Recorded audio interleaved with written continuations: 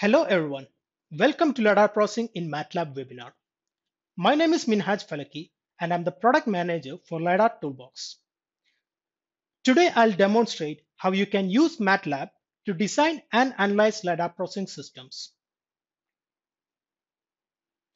LiDARs are now being used in autonomous systems along with other sensors such as cameras and radars for environmental perception.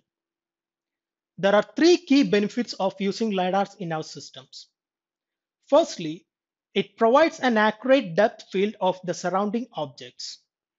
Secondly, it provides a 360 view of our surrounding with just one sensor while we need multiple calibrated sensors in case of cameras and radars. Finally, the dense data from LiDAR sensors improves the accuracy when we are using machine learning and deep learning algorithms. In this session, using three examples from three different application areas like automated driving, aerospace, and robotics, I'll show you how to build LiDAR processing systems in MATLAB.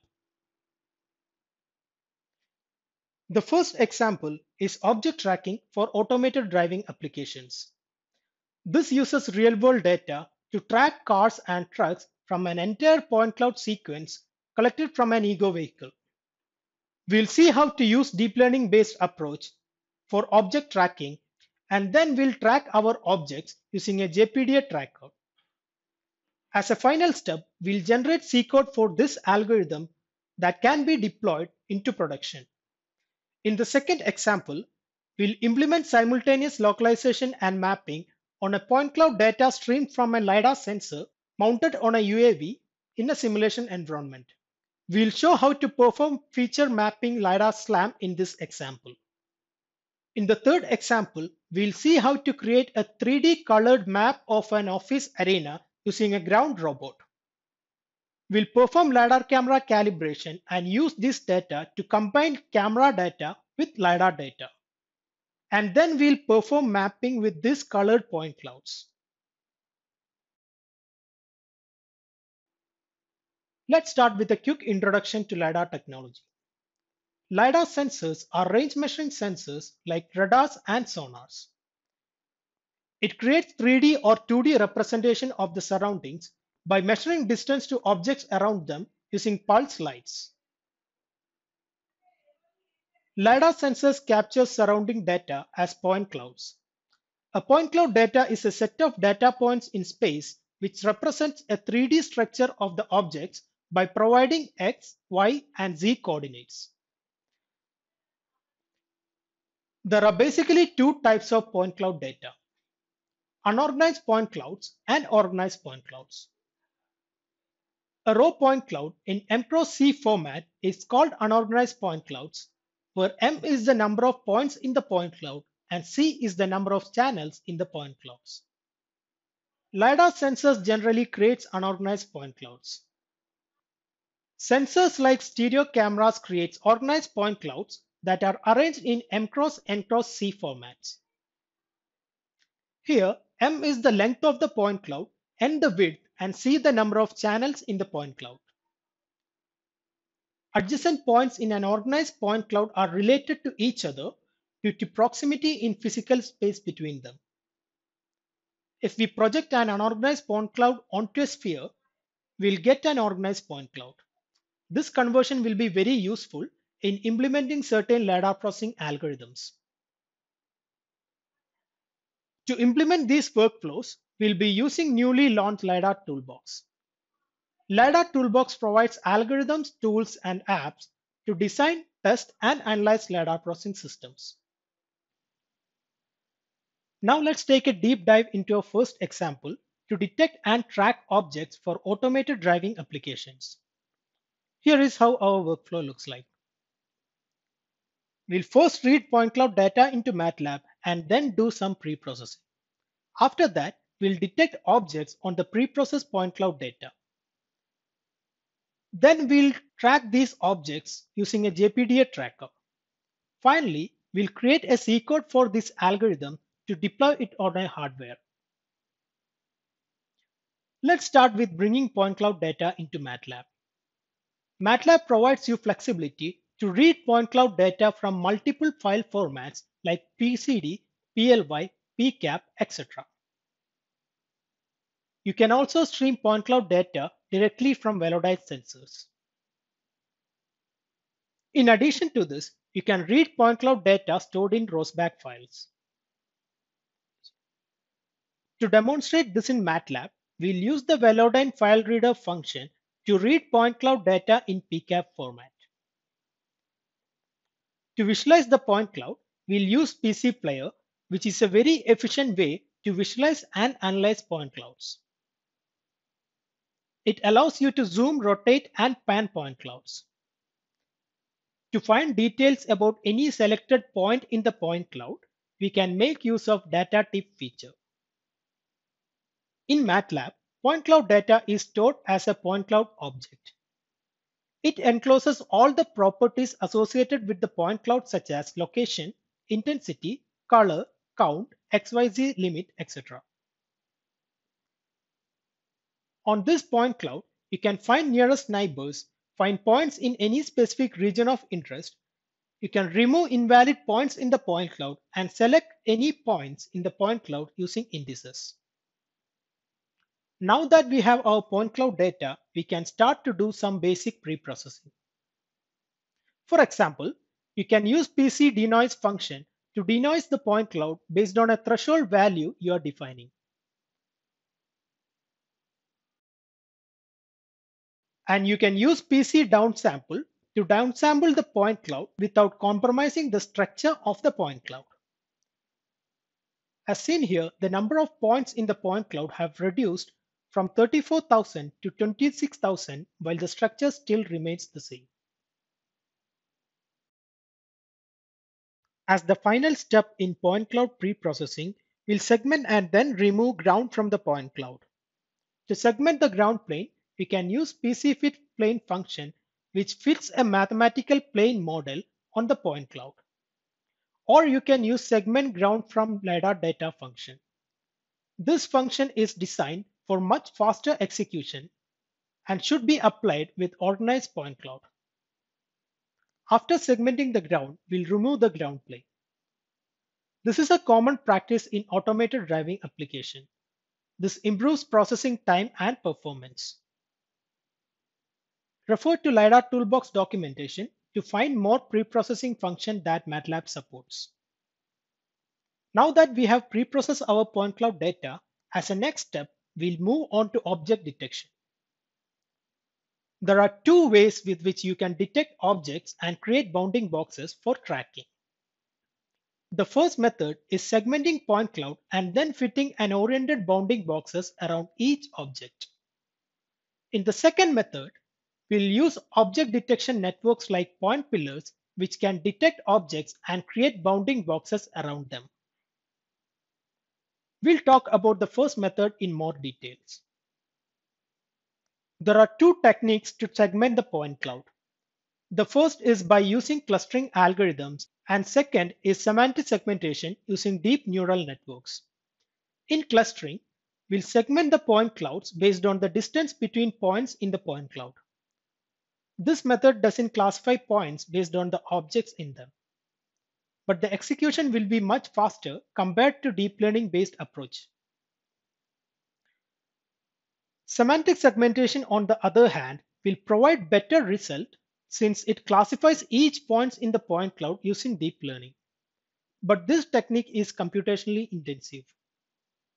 In MATLAB, we can use PC segdist function or segment LiDAR function for clustering. PC segdist function segment point cloud into clusters based on the Euclidean distance between them. We'll give a minimum threshold value between the points from different clusters and then apply the function. While PC segdist function can be used on both organized and unorganized point clouds, segment LiDAR function is designed to cluster organized point cloud, resulting in faster execution. The second technique is to use deep learning models. The neural networks here assigns class labels to each points in the point cloud.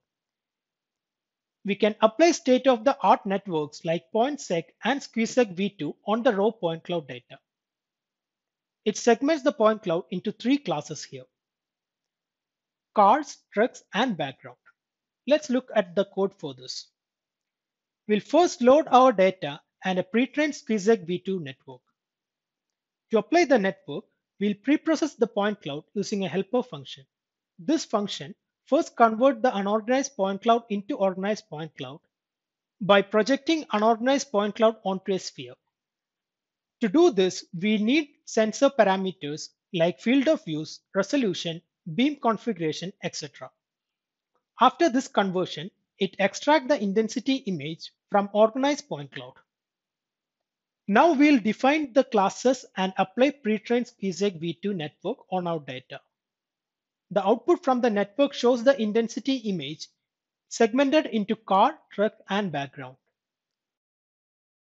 After segmentation, we'll fit oriented bounding boxes around the segmented objects using PC fit cuboid function. It uses L-shape fitting to perfectly fit oriented bounding boxes around the objects. The second technique to detect objects from point clouds for tracking is to use object detection networks. Here we apply point pillars network on the point clouds. It can detect objects and fit oriented bounding boxes around them. Refer to MathWorks documentation example which explains in detail how to model and train point pillars network from scratch. This example is shipped with a pre-labeled dataset. But to use your own data with this example, you can make use of LiDAR Labeler app to label your data. You can use this app to label your point cloud for any object detection workflows. You can apply some basic operations like clustering, ground removal, etc. to make more sense about your point clouds. And then you can create bounding boxes around the objects to label them. The app allows inbuilt or custom automation algorithms to automate labeling process. So here is the output of our object detection. You can see bounding boxes around cars and trucks in our point clouds. Now using these bounding boxes as inputs to our tracker, we'll track these objects through the entire point cloud sequence. Here is how we are going to do that. We'll use an IMM filter, which is a great way to create complex trackers. In this demo, we are using a JPDA tracker that can track multiple targets from multiple sensors. Here you can observe that the car and truck are being tracked through the entire sequence. As the final step, let's see how to generate code for the object detection and tracking algorithm we have developed now. From MATLAB, you can generate C++ as well as CUDA codes. You can use MATLAB Coder for C++ code generation. To do this, first specify MATLAB function name and the input attributes. After that, we'll generate the code. The generated code provides a report which can be used to track it back to the corresponding MATLAB code. We can use GPU coder to generate CUDA code for GPUs. Refer to this example in LiDAR Toolbox documentation. It explains in detail the entire process of CUDA code generation. You need a CUDA-enabled NVIDIA GPU and a compatible driver for this. So we have demonstrated how to build MATLAB system for object detection and tracking for autonomous driving applications. If you have any questions regarding this, feel free to ask them in the Q&A section by the end of this webinar. We'll now move on to the next example, which is aerial LiDAR SLAM. Here we'll implement simultaneous localization and mapping or SLAM on point cloud data streamed from a LiDAR sensor which is mounted on a UAV.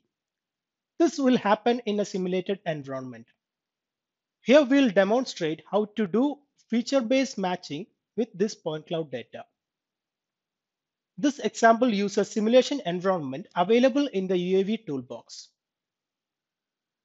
We have a broad range of simulation environments like this, which can be used to implement similar workflows in different application areas. Automated Driving Toolbox contains Unreal-based simulators and cuboid simulation environment. UAV Toolbox supports Unreal as well as static mesh-based simulation environment. You also have Roadrunner to create static objects for Unreal environment. Having these pre-built simulation environments helps to build and test your algorithms before deploying it in the real world. You can save a lot of time and money, and of course, it's a lot safer. Coming back to our aerial LiDAR SLAM. Our workflow start with simulating the city environment with a UAV in it. After that, we'll register point clouds based on feature descriptors extracted from each point cloud. Finally, we'll implement pose-graph optimization to correct the drifts that happened in the registration step and build the complete map. Let's start with simulating the environment. We'll make use of a city simulation containing lots of roads and buildings. We'll first define trajectory for our UAV. Here, we have overlaid the X and Y coordinates of our trajectory on top view of the map. Note that two trajectory loops have been utilized to ensure loop closure which will be useful in pose-graph optimization. We are using Simulink to perform this simulation. So we can load the Simulink model by running this script. There are four main parts to this Simulink model. The first one is the simulation 3D scene configuration block. You can find this block from the Simulink library by searching simulation 3D scene. This configures the scene to the US city block that we saw earlier. The second block is our simulation 3D UAV vehicle model. This places our UAV on the scene and moves it through the trajectory using X, Y, Z and yaw data that we loaded before.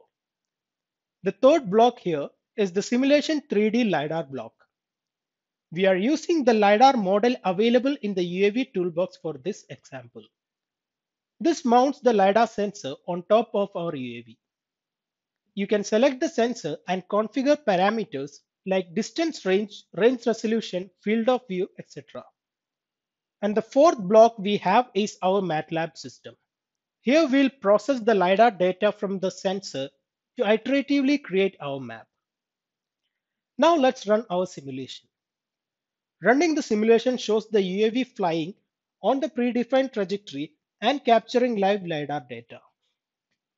The MATLAB system in our Simulink model collects this data and stitches it together to build the map of the arena. Before I explain how the MATLAB system block operates, I'll briefly explain point cloud registration. So point cloud registration is the process of stitching multiple point clouds to create a combined bigger point cloud.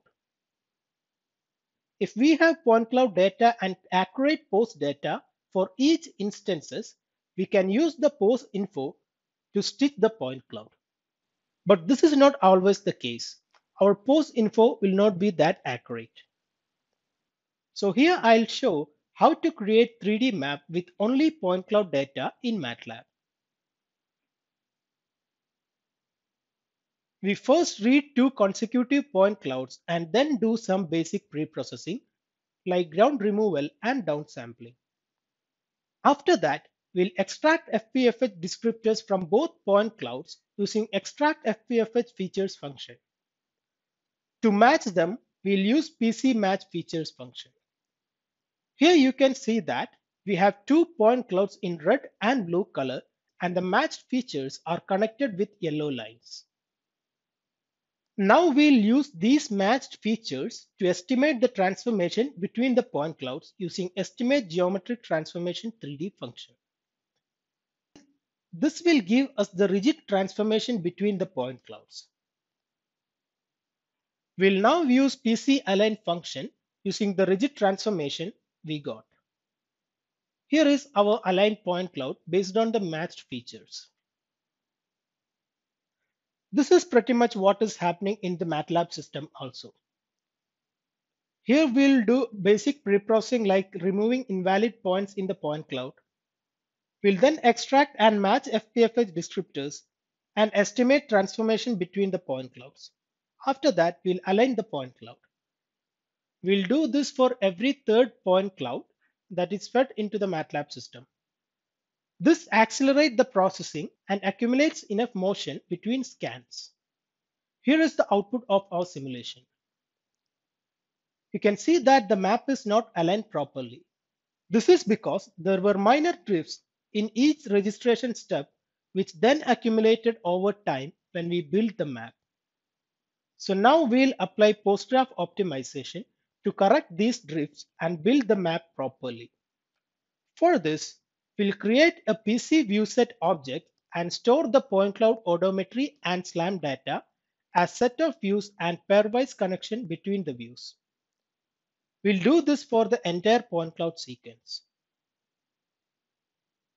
We'll then find loop closure candidates from the scan, create pose graph for the view set using create pose graph function, and then optimize the poses using optimize poses function. Pose graph optimization is a separate topic by its own. Due to time constraint, I would recommend you to watch this MATLAB Tech Talk. It explains pose graph optimization and how it helped to have a better estimate of the current and past poses and a better model of the environment. So here is our final output after pose-graph optimization. You can see our optimized waypoint poses in red color and the map is now aligned properly.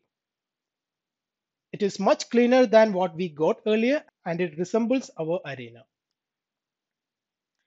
With this, we conclude the aerial LiDAR SLAM workflow and of course, I'll be very happy to answer any of your questions regarding this in the Q&A session. Now let's move on to our final workflow example, which is to create a colored 3D map of an office arena using ground robot. Here we'll perform LiDAR camera calibration to combine camera data with LiDAR data.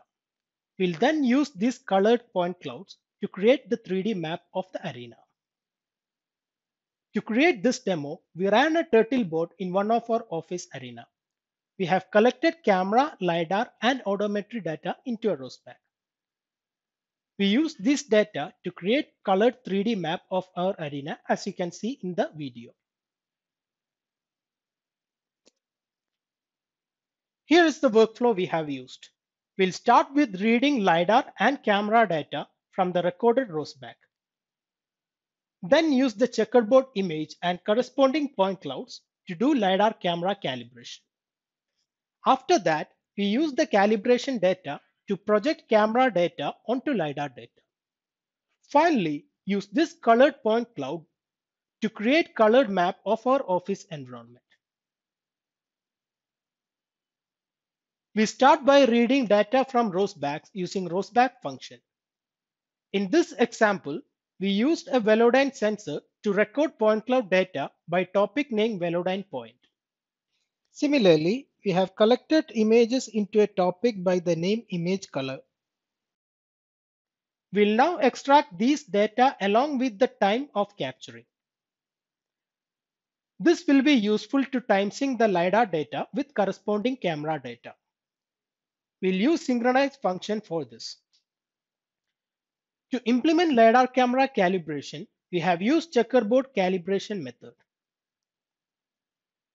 To do this, we need to fix the sensor poses on our robot and then capture checkerboard data from both these sensors with overlapping field of view. We need to extract checkerboard features from cameras and LiDAR's data now.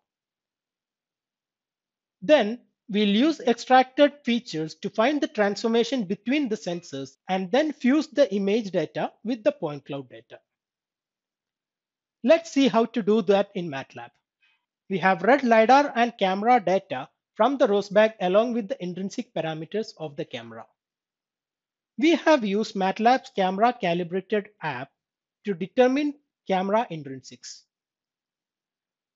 We'll now use estimate checkerboard camera 3D function to find the checkerboard features from images and then use detect rectangular plane point function to detect checkerboard pattern from point clouds.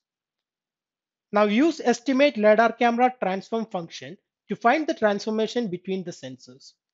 Here is our result. On the top, we have projected point clouds on the images. And in the bottom, you can see that color info from the camera is added onto point cloud. Now that we have done LiDAR camera calibration, we'll need to project camera data onto LiDAR data. To do this, we can use fuse camera to LiDAR function. This function uses the intrinsic parameter of the camera and the camera to LiDAR rigid transformation to fuse image information with point clouds. So we load the transformation and then apply this function. Here is an example of colored point cloud we got by fusing image data with the corresponding point cloud data. The next step is to create 3D map with the colored point clouds.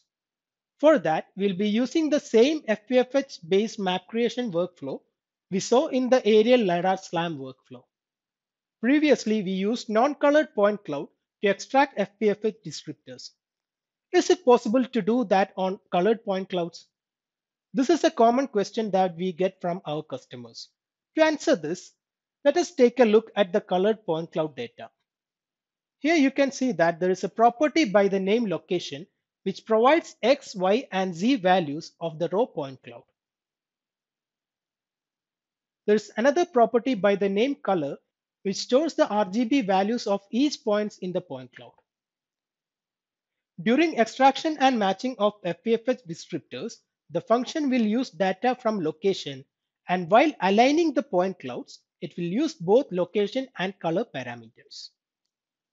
As I mentioned before, we'll now create 3D map using the same approach we have used in the aerial SLAM example. We extract and match FPFH descriptors, estimate transformation, and align point clouds from the entire sequence in loop to create the map. In the final output, you can see captured camera data, point cloud data, top view of the point cloud map that is being created, and the colored point cloud map. In the final generated 3D map, we can see that the points in the entire point cloud is colored. This will be very useful in robotics for object detection and obstacle avoidance. So we have showcased how to use MATLAB to build LiDAR processing systems for different application areas of automated driving, robotics, and aerospace. The benefits of using MATLAB for LiDAR processing workflows are that the ability to create complete workflow to apply deep learning algorithms on LiDAR data from labeling to embedded deployment. The ability to simulate LiDAR data for UAV as well as automated driving applications. A library of pre-built algorithm to do pre-processing, object detection and tracking, mapping and SLAM LiDAR camera calibration, and many more. In addition to designing and analyzing, MATLAB enables C, C++, and CUDA code generation to deploy your algorithms on a target hardware. To learn more about LiDAR processing, we encourage you to go through these resources in this slide. If you have any questions regarding any of the workflows demonstrated or LiDAR processing in general, feel free to ask them now. The floor is now open for any questions.